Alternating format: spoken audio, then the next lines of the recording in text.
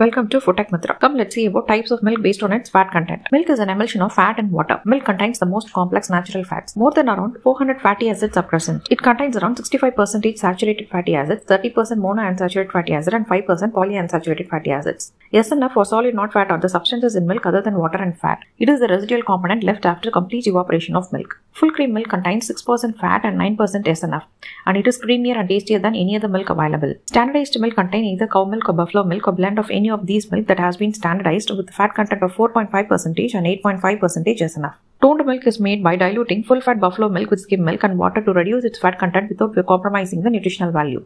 And it contains 3% fat and 8.5% SNF. Double toned milk contains fat of 1.5% and 9% SNF and this is made by mixing whole milk with skim milk or skim milk powder. It is low in fat and calories and suitable for people who are trying to lose weight. Skim milk is made by removing all the milk fat from whole milk and it contains fat of 0.5% and 8.7% SNF.